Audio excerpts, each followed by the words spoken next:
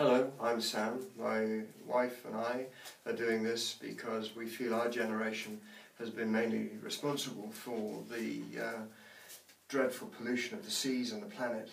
And I don't know where this is taking us, but we're scared for future generations, uh, grandchildren in particular. Uh, we're also uh, going to restore this boat because she needs restoring.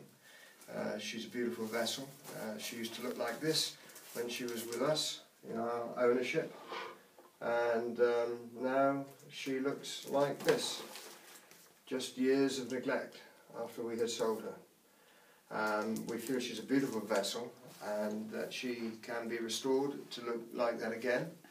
And by heading into various harbours throughout the country and Europe we can bring crowds of people to see her. And in doing so we can deliver our message about how we feel the pollution and the destruction of our planet is going and try and deter people from doing it and educate young people to uh, the dangers of what we're heading into. This is mainly being done by a team of people, all of whom are in their 70s, uh, some as young as 62. Uh, and we hope that this will make a difference, small but a difference.